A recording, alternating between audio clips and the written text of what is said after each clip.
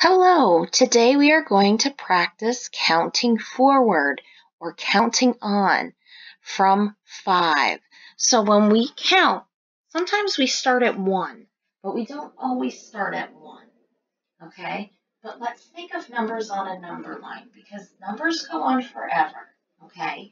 But when we count, what's the first number we typically say? One. What comes next? Two, three, Keep going. Four, five. Okay, stop there. Now, we're not going to always start from one. And that's how it is throughout life. It's not just on these practice problems, but a lot of times in everyday life, we don't start counting at one. So if we know where to start off on a number line, if we picture a number line in our head, we can keep moving on and figure out what's missing. So if I'm at 5, what would come next? 6, then 7, oops, then 7, and then 8. Now we can see 5, 6, 7, 8. Good job. Let's go to the next one. Now we're counting on from 12. So if I make myself a number line and I start at 12, I know 12, what comes after 12? 13, 14, 15, 16, 17, and so on. I like having a visual to help me out when I'm working on things that I'm not necessarily familiar with. So again, we have 12, 13, 14, 15, 16. Let's do another one. Again, we're counting from 12. We just did this. I want you to try this one on your own. I will start off with a, little hint with our number line. Okay. So what goes next after 12? 13, then 14, then 15, then 16. Good job. Next, we're counting on from 4. What comes after 4? 5, then six, then seven, then eight. Good job.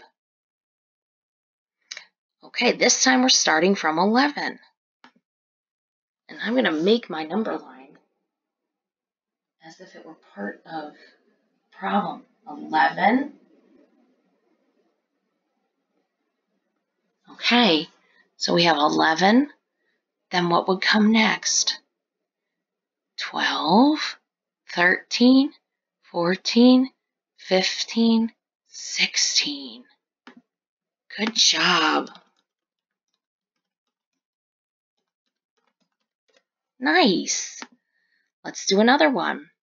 Now we're counting forward from 9. Again, I'm going to make my number line to help me out. It's just a nice little visual I like to have.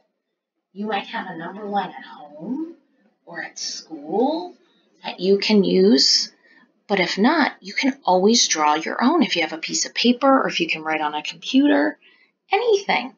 You can find a number line and use it to help you out doing a lot of different types of problems.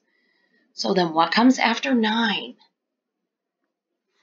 10. Good job. What comes after 10?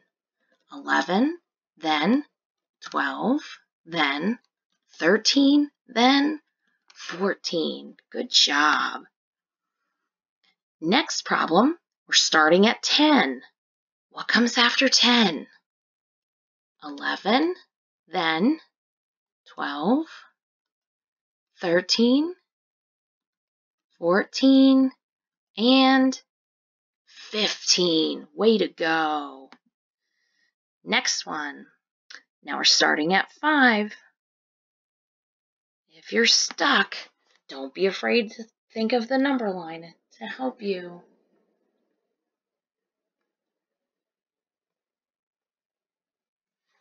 Okay. What is it? What comes after 5? Six, seven, eight, nine, then 10. Good job. Next, counting forward from 8. Do you need a scratch pad? If so, use it. Draw that number line. Visual can help you out so much. So what comes after 8? 9, then 10, then 11, 12, and 13. Great job. One more. We're starting at 10. We actually did this one before, and I know you can do it right now. I want you to try it. Draw a number line if you need to.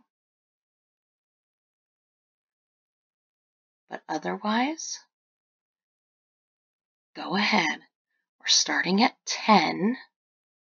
Then, tell me, 11, then 12, then 13, then 14, then 15. Great job. That was excellent.